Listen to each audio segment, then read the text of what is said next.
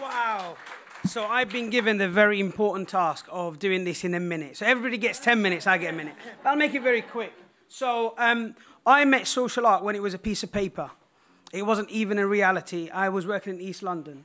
Um, I'm from Sheffield originally. Anybody here from Yorkshire? No? Yes? Yeah, you know what I'm talking about, right? So you come to London and everybody says to you, oh, where's that? I'm like, Sheffield. Where's that? Next to, next to Leeds.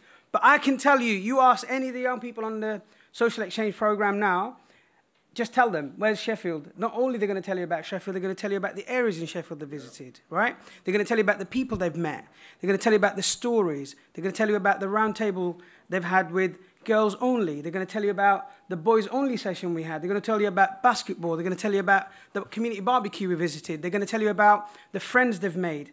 And also, they're going to tell you about the tears that they shared both online and offline. You know, we've had a long walk. I bet this, some of them are still recovering from that walk. Look, look at them, right?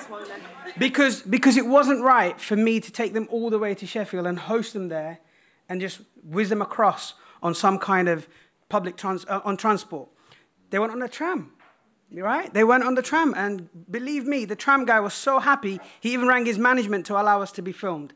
It was such an experience that I invite you now to come and visit us in Sheffield, but also to say that every, every organization that, I've, uh, that we visited have come back to me and said, the opportunity to meet people from out of town is really important for us. It's give them the confidence. Shamuna mentioned something about uh, abundance of opportunities. We're starting from a place of scarcity. We don't have the resources, and they needed that boost. So I just want to use this opportunity to say thank you to all the young people for bringing the energy to Sheffield, and I look forward to see how we can make a difference together, both in East London and, and across the UK. Thank you.